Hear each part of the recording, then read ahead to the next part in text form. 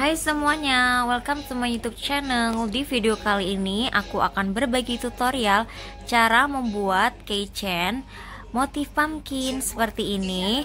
Caranya sangat mudah, cocok banget untuk pemula. Yuk langsung aja simak videonya. Ini dia bahan-bahannya. Aku pakai dua benang yang satu warna orange dan yang satu warna hijau. Untuk hooknya aku pakai 2,5 mm terus ada keychain atau gantungan kuncinya dan ada dakron. Oke okay, pertama kita akan gunakan benang warna orange. Ya kita buat slip knot terlebih dahulu seperti ini.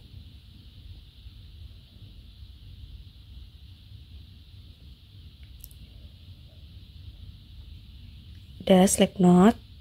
Ya kemudian 15 rantai atau 15 chain. 1 2 3 4 5 6 7 8 9 10 11 12 13 14 15 Oke, sudah selesai untuk 15 chain atau 15 rantainya. Kemudian kita akan skip satu lubang ya. Lubang pertama kita skip, kita alih langsung ke lubang yang kedua ini, oke. Ambil benang seperti ini. Kemudian masukkan ke lubang yang kedua. Sekarang ada tiga benang di dalam hook ya langsung tarik ke tiga-tiganya atau ini kita sebutnya HDC ya kita akan buat HDC sebanyak 14 kali. Ini yang pertama. Ambil benang. Masuk seperti ini. Ada tiga benang. Ambil dari sini dan seperti ini oke. Okay? lanjutkan hingga mendapatkan 14 half double crochet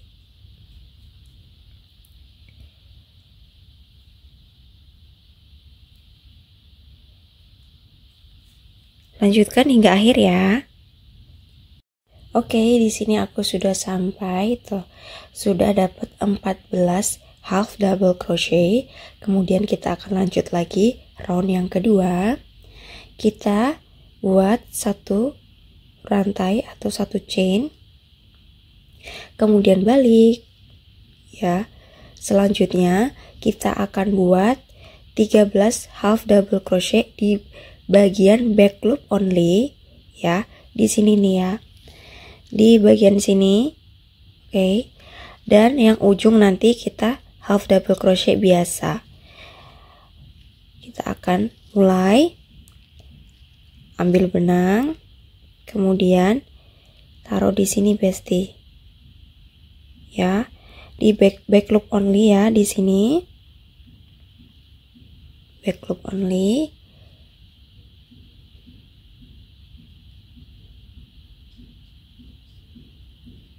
Oke, kemudian ambil benang lagi. Kita akan taruh di bagian back loop only seperti ini.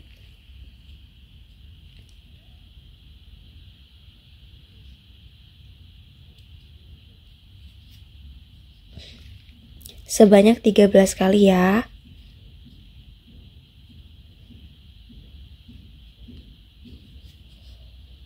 Di bagian back loop only saja. Ya, di sini kelihatan enggak? Harusnya kelihatan ya. Bagian back loop only.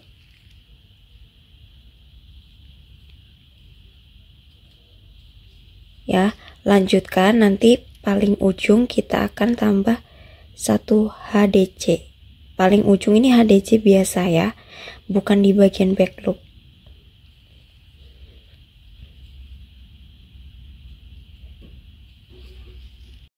Oke, di bagian ujung sini ya. Ujung sini ini kita HDC biasa ya, bukan di bagian back loop. Kita HDC biasa saja. Nah, seperti ini.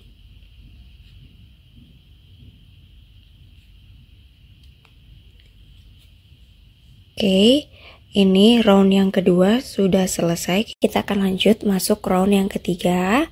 Round ketiga ini juga sama persis sama round yang kedua ya. Pertama kita akan buat satu rantai atau satu chain, kemudian balik ya. Kita buat half double crochet di bagian back loop only. Back loop only ya. Di back loop only. Nah, sebelah sini back loop only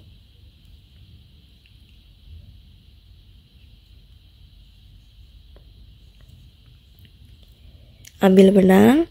Kita masukkan ke back loop only di sini. Kemudian tarik ke dalam tiga lubang benang ini oke? Okay? sebanyak 13 kali.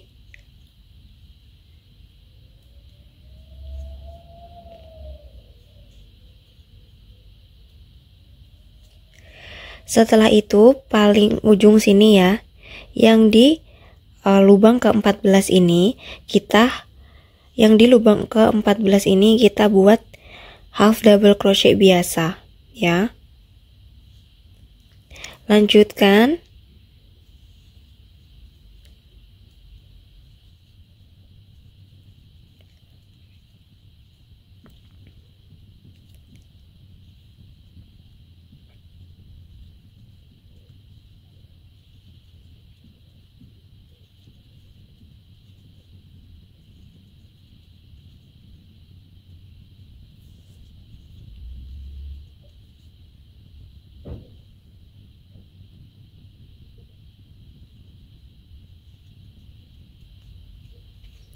Oke, yang terakhir ya.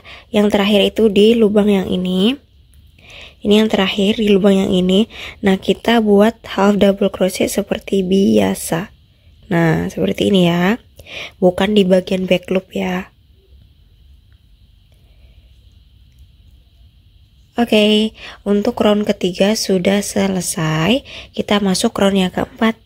Next, kita akan masuk ke round yang keempat. Nah, di round yang keempat sampai round yang ke-18 itu dengan cara yang sama ya, yaitu satu chain di awal, kemudian putar, bikin 13 half double crochet di bagian back loop only.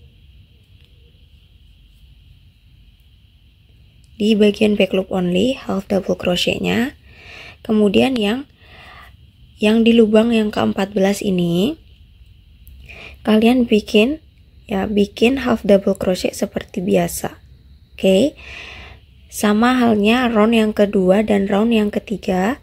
Di round yang keempat sam sampai ke round 18 kalian buat satu chain kemudian 13 half double crochet di bagian back loop only dan kemudian yang yang lubang ke-14 ini half double crochet biasa. Lanjutkan ya besti sampai round yang ke-18 dengan teknik dan juga cara yang sama. Aku akan balik jika sudah selesai. Oke, okay, di sini sudah dapat 18 row ya. 1, 2, 3, 4, 5, 6, 7, 8, 9, 10, 11, 12, 13, 14, 15, 16, 17, 18 ya sudah selesai untuk 18 row. Kemudian kita akan satukan atau kita jahit. Nah di sini kita akan jahit. Ya ini kita pakainya slip stitch saja. Kita langsung slip stitch seperti ini Nah, di sini kita akan slip stitchnya di bagian back loop only ya. Di bagian back loop only di sini. Ya. Terus di sini nih. Bagian back loop.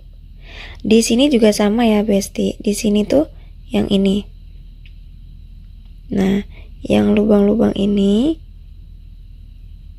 ya, kita akan mulai Total sebanyak 15 ya. Slip stitch. Kita slip stitch saja. Bagian back loop sini. Bagian back loop ya. Back loop. Slip stitch. Bagian back loop. Slip stitch.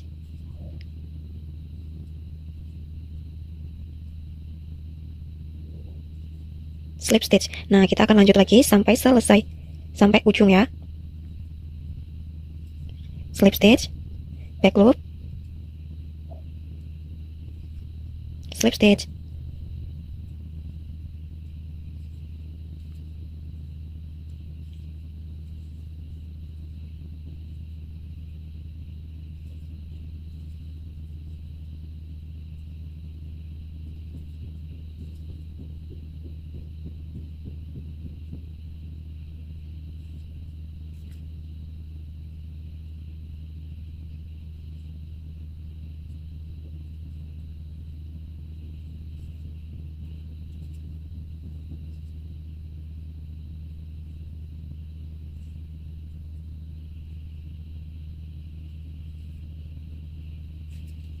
Oke, di akhir kita akan tambah satu rantai ya. Kemudian kita akan potong benangnya. Potong benangnya itu yang agak panjang ya. Potongnya yang agak panjang.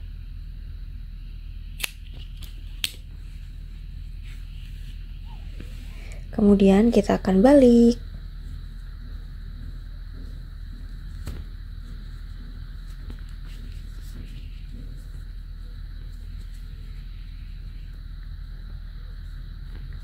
Oke, setelah kita balik, sekarang kita akan jahit.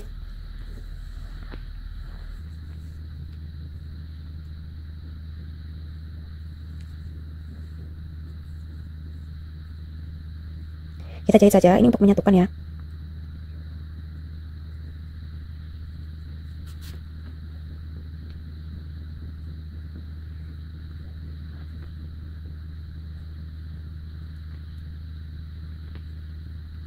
seperti ini ya jahitnya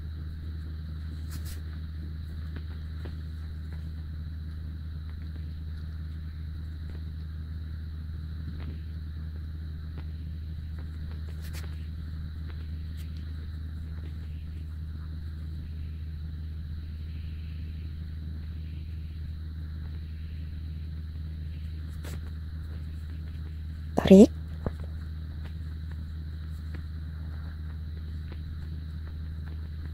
kemudian kita akan jahit lagi.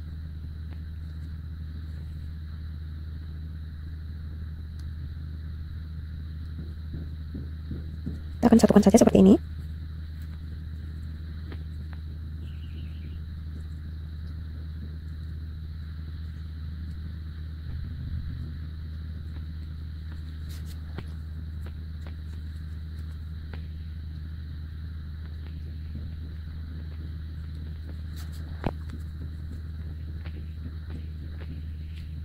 Intinya ini kita jahit sampai tidak terlihat lubangnya. Kita akan satukan seperti ini.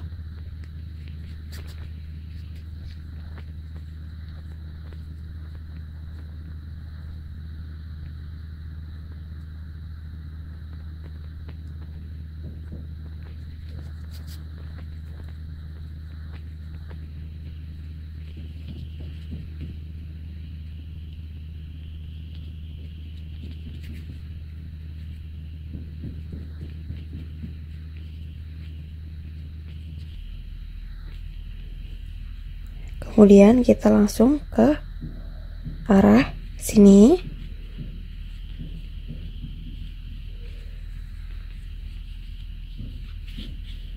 Nah seperti ini ya besti. Kita akan kasih dakron. Sekarang kita kasih dakron. Sudah dikasih dakronnya kemudian kita akan jahit aja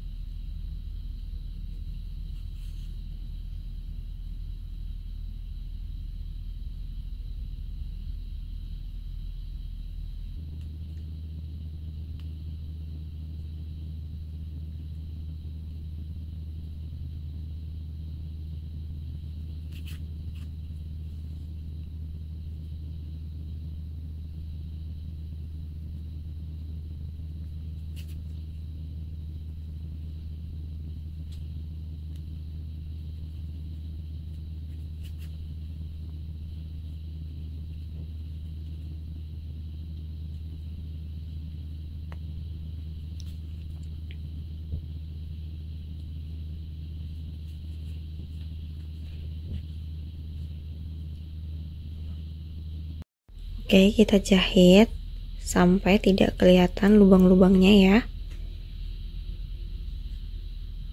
Kita satuin aja.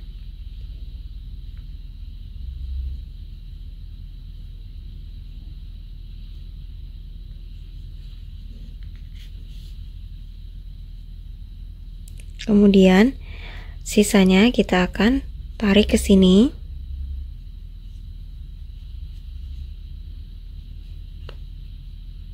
Terus bisa dijahit sini. Oh ya tipsnya itu kalian potong benangnya agak lumayan panjang ya. Tadi aku kurang memang agak kurang panjang lagi. Nah ini memang agak susah ya karena di dalamnya kan sudah ada dakron.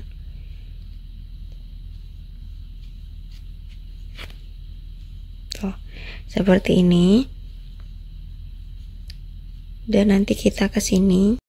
Oke, sekarang kita akan lanjut ke sini, ditarik, terus nanti ke sini lagi, terus ke sini ya. Seperti ini, kita tariknya harus ya kenceng, tarik kenceng.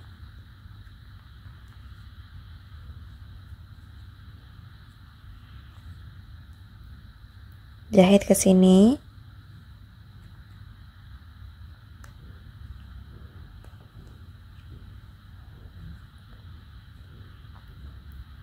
Untuk di sini.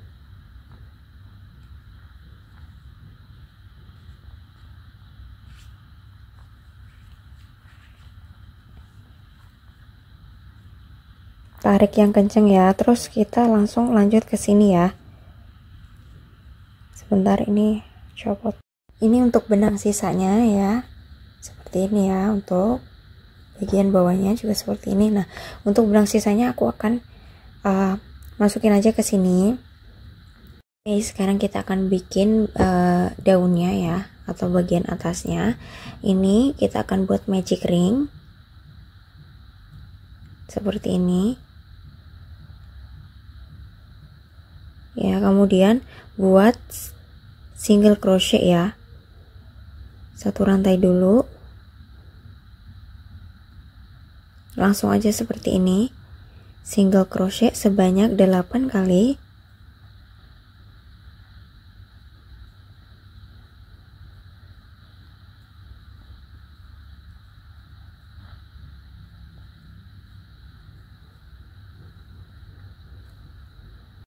Next yang tali kecil ini kita akan tarik ya.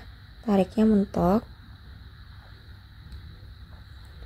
Kemudian kita akan uh, kita akan slip stitch di lubang yang pertama ini tadi.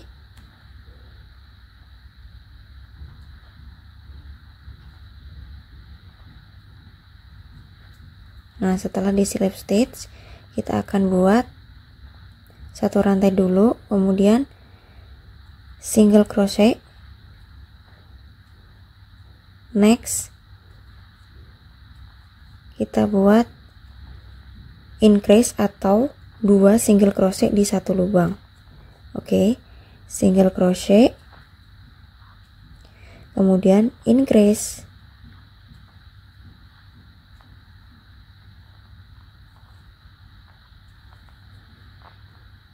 Sebanyak empat kali ya. Totalnya nanti ada 12 single crochet kemudian increase total ada 12 ya aku akan balik jika udah selesai. Oke okay, ini kan sudah sampai ya. Dapat uh, total 12 kita akan slip stitch dulu di lubang yang pertama tadi. Kemudian kita akan potong benang. Ini yang panjang ya. Potong benangnya yang panjang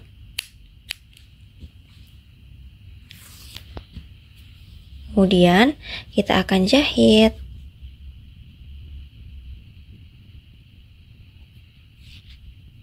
Kita akan jahit di bagian sini ya. Di bagian sini. Nah, aku jahitnya itu di bagian yang di antara sini nih. Ini dan juga ini. Kita jahit dulu.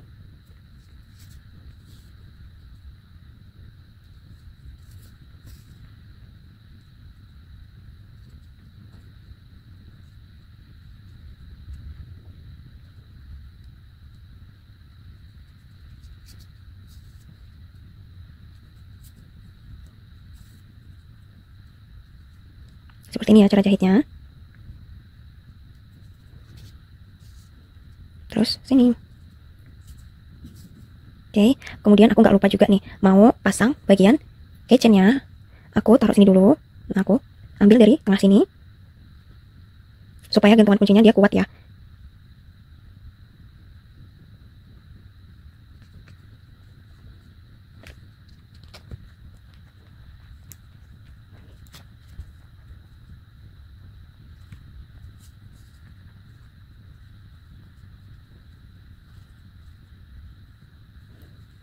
taruh di tengah sini.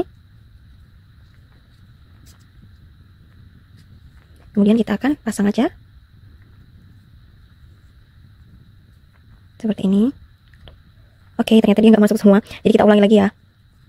Cuma dia cuma masuk satu pasti nah kita ulangi lagi. Pasangnya di sini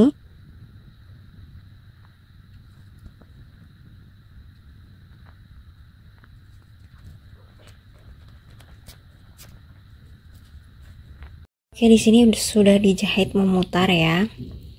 Nah, aku akan sisanya untuk benang sisanya aku akan ambil ke sini untuk memperkuat lagi ya, untuk memperkuat keychainnya. Jadi aku tambahin lagi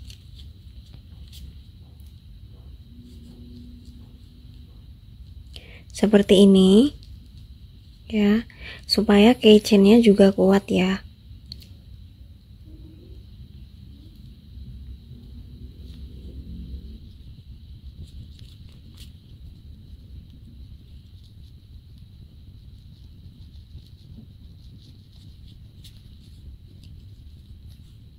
Jika dirasa kuat sudah bisa dipotong ya. Nah, di sini aku akan jahit lagi.